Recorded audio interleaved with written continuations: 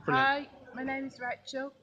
Um, I first travelled out to the trust when I was 10 years old with Group 83. Um, I then travelled out with them for three years. Um, after my first trip, I had a several gap with the trust, and then I decided to come back as a helper.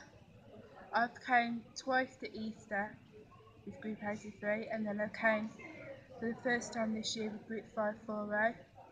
The reason why I come back to Lourdes with the trust is to enable young adults and young children to experience the love, the warmth, the friendship, and the memories that they get when they're with the trust. My favourite bits of the week are the Torchlight Procession, um, Gavarnie, and just helping the, the, the VIPs within the group if they've got any aims or any wishes that they want to do. Like the last that I was for in this week, she um